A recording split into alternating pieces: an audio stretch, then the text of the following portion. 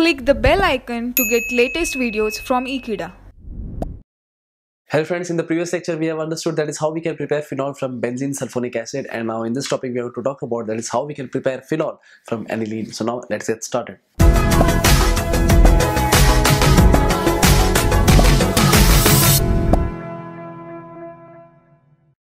Suppose if we have considered aniline and that is how basically we can write the structure of aniline as benzene that is basically attached with NH2.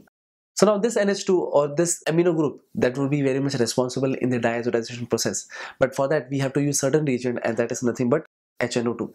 This HNO2 is nothing known as nitrous acid that should be reacted with HCl and at lower temperature that is between 0 degree Celsius to 5 degree Celsius so therefore as i said earlier that is this process is basically known as diazotization process so now this amine group that is this nh2 group that is basically present on the benzene ring so now this one will be converted into that is benzene ring which consists of that is n triple bond n cl plus the byproduct that we could get is that is 2 moles of h2 so the product that we have obtained in the first step of it, because obviously it is a two-step process, so therefore the name of the product that we have obtained over here is, it is known as benzene diazonium chloride.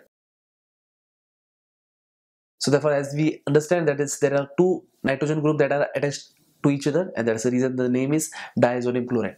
But this is not the final thing that we need. We need phenol. So that's the reason that the benzene diazonium chloride, it will be treated with dilute sulfuric acid so as to obtain the main product. So now let us understand this one. So the product that we have obtained in step number one is nothing but benzene diazonium chloride. So now that on treatment with H2O and that also in presence of that is dilute sulfuric acid so obviously it is nothing known as a hydrolysis process so therefore the product that we could get is it is the main thing that we will need is phenol along with that of this is nothing but the N2 that will be evaporated or that would be released from the reaction and now the main product that we could get as a byproduct is HCl.